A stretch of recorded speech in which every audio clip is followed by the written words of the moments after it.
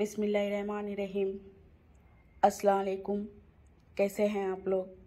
आज हम बनाएँगे साबुदाना नमकीन। क्विक, इजी और सिंपल तरीके से।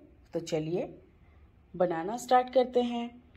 रेसिपी स्टार्ट करने से पहले आपसे रिक्वेस्ट है, आप अगर मेरे चैनल पर नए हैं तो चैनल को सब्सक्राइब करें। साथ में बेल के बटन को दबाना ना भूलें, जिससे मेरे आने वाली नई नई रेसिपी की नोटिफिकेशन आपको मिलती रहेगी। तो चलिए रेसिपी बनाना स्टार्ट करते हैं।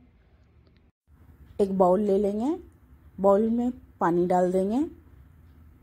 इसके अंदर हम आलू को डायरेक्ट ग्रेट करेंगे। यहाँ पर मैंने एक बड़े साइज़ का आलू ले लिया है, जिसे छील के साफ़ कर लिया है। ये कच्चा आलू है। एक ग्रेटर की मदद से हम इसे ग्रेट कर लेंगे। ग्रेटर में जो मोटा वाला छेद है, हम इससे इसे अच्छे से ग्रेट करेंगे। इसी तरीके से हम आलू को ग्रेट कर लेंगे। यहाँ पर मैंने पूरे आलू को अच्छे से ग्रेट कर लिया है। अब हम इसे दो या तीन पानी से धो लेंगे, जिससे आलू में का सारा स्टार्च निकल जाएगा। तो यहाँ पर मैंने इसे एक बार धोकर छान लिया है। इसे हम दो बार और धो लेंगे। इस तरीके से धोने से आलू फ्राई करने के बाद अच्छे से क्रिस्पी रहेंगे, नरम नहीं पड़ेंगे। इसे इसी तरीके से आप दो या तीन बार ज़रूर धो लें। यहाँ पर दोस्तों, अगर आप मेरे चैनल पर नए हैं तो चैनल को लाइक, शेयर और सब्सक्राइब करना ना भूलें। यहाँ पर मैंने आलू को फाइनली एक बार और अच्छे से धो लिया है। इसके अंदर का सारा स्टार्च निकल गया है। इसका भी पानी हम हटा देंगे। यहाँ पर हमने इसे पूरी तरीके से अच्छे से छान लिया है। इसका सारा पानी निकल गया है। और अब हम इसे पूरी तरीके से ड्राई करेंगे। एक किचन टाल या नैपकिन आप ले लें और इसके ऊपर इसको फैला दें। यहाँ पर मैंने एक साफ़ टावल ले लिया है। अब ग्रेट किए हुए आलू को हम इसके ऊपर फैला देंगे। इस तरीके से हम इसे पोंछ लेंगे और इसका सारा पानी इससे सुखा लेंगे। इसी तरीके से आप इसे सुखाएँ और पाँच मिनट के लिए हम इसे इसी के ऊपर फैला देंगे जिससे ये अच्छे से ड्राई हो जाएँगे। दस मिनट के लिए आप इसे इसी तरीके से फैलाकर छोड़ दें। यहाँ पर हमने कढ़ाई में ऑयल को पहले से ही गर्म कर लिया है। ऑयल अच्छे से गर्म हो गया है। सबसे पहले हम इसमें मूंगफली डाल के फ्राई करेंगे। यहाँ पर मैंने हाफ़ कप मूंगफली ले ली है। आप कम ज़्यादा कर सकते हैं।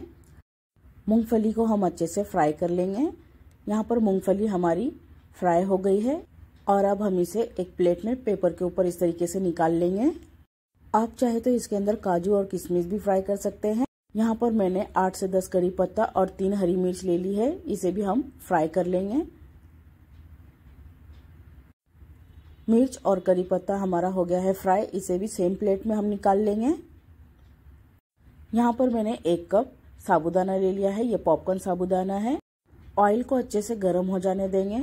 ऑयल अच्छे से गर्म हो जाए तब साबुदाना को आप फ्राई करें। यहाँ पर हम थोड़ा थोड़ा डालकर फ्राई करेंगे।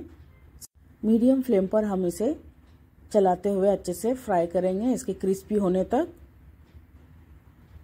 साबुदाना हमारे अच्छे से फ्राई हो गए हैं और अब हम इसे भी निकाल लेंगे। इसी तरीके से हम बाकी के भी सब फ्राई कर लेंगे। ग्रेट करके जो आलू को हमने सुखा लिया था, अब इसे भी हम फ्राई कर लेंगे। मीडियम फ्लेम पर हम इसे गोल्डन ब्राउन होने तक फ्राई करेंगे। आलू भी हमारे इसमें अच्छे से फ्राई हो गए हैं। अब हम इसे भी निकाल लेंगे और बाकी के इसी तरीके से हम फ्राई कर लेंगे। और अब हम इसे मिक्स कर लेंगे। यहाँ पर हमने ले लिया है मिक्सिंग बॉल और फ्राई किए हुए साबुदाना। इसमें डाल देंगे। और इसमें हम मिक्स कर देंगे नमक।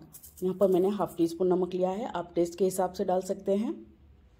एक टीस्पून पाउडर शुगर इन सबको हम अच्छे से मिक्स कर लेंगे। आप अपने हिसाब से इसमें कोई भी फ्लेवर ऐड कर सकते हैं। क्रिस्पी साबुदाना नमकीन हमारा बनकर तैयार है। साबुदाना नमकीन हमारा सर्व करने के लिए तैयार है। साबुदाना नमकीन हमारा बनकर तैयार है। आपको मेरी रेसिपी अच्छी लगे तो लाइक करें, शेयर करें और मेरे चैनल को सब्सक्राइब करें। तो चलिए मिलते हैं अगली रेसिपी के साथ। अल्लाह हाफिज़।